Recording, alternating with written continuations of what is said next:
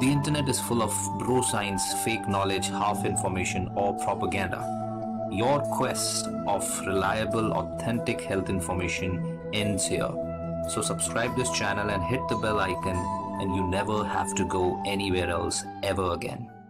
Okay talking about your urine so क्या urine के अंदर चेंजेस से आपके हेल्थ के ऊपर इंडिकेशन पता चलते हैं जी हाँ पता चलते हैं सो लेट्स फेस इट ज़्यादातर लोग एक्चुअली देख देखते भी नहीं है फ्लश करने से पहले कि यूरिन में क्या है कलर क्या है एग्जैक्टली exactly, लेकिन यू शुड एक्चुअली सी कि यूरिन का कलर उसका स्मेल और दिन में कितनी बार आप यूरिन जाते हैं इससे काफ़ी कुछ पता चलता है कि आपके शरीर के अंदर एग्जैक्टली exactly क्या हो रहा है।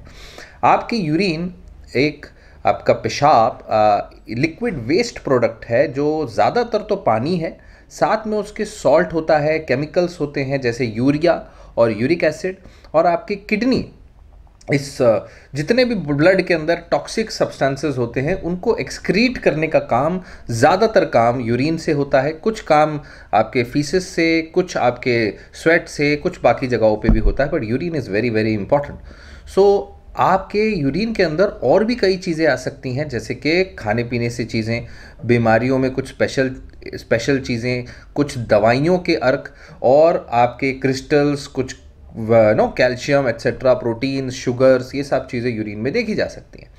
तो सबसे बेसिक से शुरुआत करते हैं कि कलर सी आपका यूरिन कौन से कलर का है? सी अगर तो सब कुछ नॉर्मल हेल्दी है तो colour should be pale yellow exactly exactly पूरा वाइट नहीं होता है। वाइट हो रहा है then very good that means you are well hydrated पानी खूब है आपके बॉडी के अंदर लेकिन पेल येलो कलर और गोल्डिश कलर चल जाएगा आपके यूरिन का। This is because of one pigment जिसका नाम है यूरोक्रोम यूरोक्रोम आपकी बॉडी बनाती है यूरिन को कलर देने के लिए। सॉरी सो so, अगर वो शेड आपका डार्क हो गया डार्क या चेंजेस आने लग गए। या फिर कोई चेंज नहीं आया तो ये सारी चीज़ें हमें बताती हैं कुछ चीज़ें। जैसे अगर आप बहुत सारा पानी पी रहे हैं तो वो लाइट हो जाएगा। डायूरेटिक ले रहे हैं तो लाइट हो जाएगा। लाइट यानी कलर वाइटिश हो जाएगा। बिकॉज़ आपकी पानी पानी ज़्यादा निकल रहा है यूरिन में। अगर आपका बहुत ही ज़्यादा गाढ़ा हनी कलर या ब्राउन कलर यूरिन है तो हो सकता है आप डिहाइड्रेटेड हो। क्योंकि आपके शरीर में उतना पानी नहीं है पेशाब में निकालने के लिए तो किडनी रोक रही है पानी पेशाब से निकल ना जाए इसलिए इट्स बेसिकली डार्क गाढ़ा गाढ़ा यूरिन आ रहा है। सो so, डिहाइड्रेशन में हो सकता है। सो so आपको पानी ज़्यादा पीना पड़ेगा।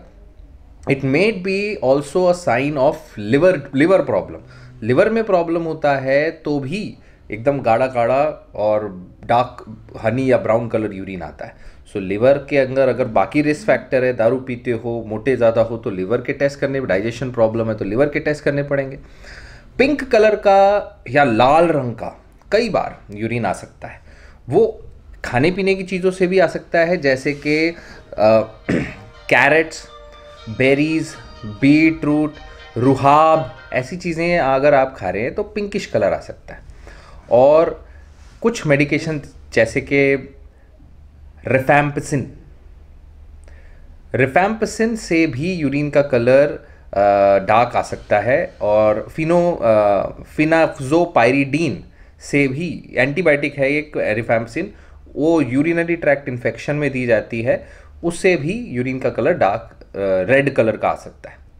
फिर ऑरेंज कलर का अगर यूरिन आ रहा है तो that can be because of citrus flavoured soft drinks because of high dose of vitamin B twelve B twelve ज़्यादा हो तो भी आ सकता है और आइसोनियाजाइड जो टीबी की मेडिसिन होती है, उसके वजह से आ सकता है ऑरेंज कलर अगेन थोड़ा बहुत डिहाइड्रेशन का भी साइन हो सकता है लिवर बाइल डक्ट के भी साइन हो सकता है, थोड़ा ऑरेंजिश या ब्राउनिश कलर आ रहा है तो yellowish orange so that is there green colour blue green colour अगर आ रहा है तो इट्स पॉसिबल दैट कोई दवा ली है, कोई खाने पीने की चीज़ों से वजह से आ रहा है। एनेस्थीशिया प्रोपोफॉल लेने के बाद भी थोड़ा ग्रीनिश आ सकता है।